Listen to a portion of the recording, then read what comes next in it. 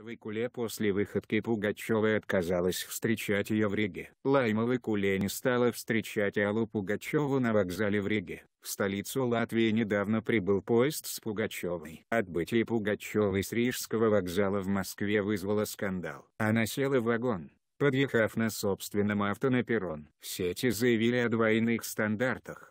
Коллеги Пугачевой встали на ее защиту. В Латвии Пугачева и Галкин отдыхают едва ли не ежегодно. В Юрмале скоро стартует фестиваль Лаймовой Кулеранделу. Два года назад Пугачева посетила один из дней фестиваля. Но теперь Лайма даже не встретила подругу на вокзале в Риге, хотя наверняка надеется, что Пугачева придет опять. В сети предположили, что Выкуле оскандалившаяся с ремарками про Крым, куда, по ее словам, якобы запрещен въезд европейцам, решила не попадать в очередной раз под огонь критики со стороны россиян.